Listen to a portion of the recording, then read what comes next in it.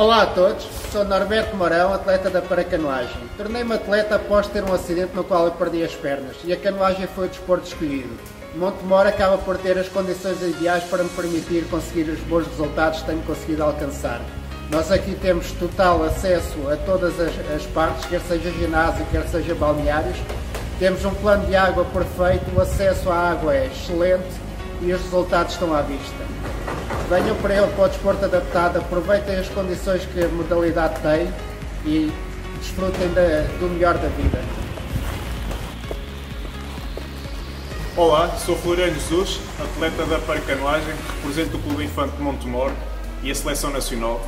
Uh, Montemor tem as melhores condições para a prática da canoagem e entre outros desportos, nomeadamente atletismo, uh, natação e também tem o centro hípico. Uh, Montemor a mim proporciona-me uh, as melhores condições para a prática da modalidade, em que tem o centro náutico, em que tem as condições ideais, perfeitas para uh, atletas de, com alguma deficiência. Montemor, neste momento, penso que esteja inclusivo para o desporto adaptado.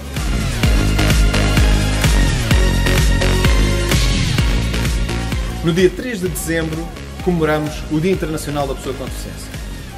Na, a Convenção dos Direitos das Pessoas com Deficiência, assinada em 2006 nas Nações Unidas, foi um passo importante precisamente para incluir as pessoas com deficiência nos vários âmbitos da nossa sociedade. Um deles é o desporto. E o desporto é por si mesmo uma ferramenta de inclusão. A prática desportiva traz a todos vós, quer as famílias, quer aos praticantes, uma oportunidade de estar na comunidade e de fazer mais por si mesmo e mais por ela. Em Montemoro Velho, na pista de Montemoro Velho, para o reino e para a canoagem, também na pista Tartan, nas piscinas e noutros equipamentos desportivos, vós tendes a oportunidade para fazer essa prática desportiva e para serem incluídos totalmente na, na, na sociedade.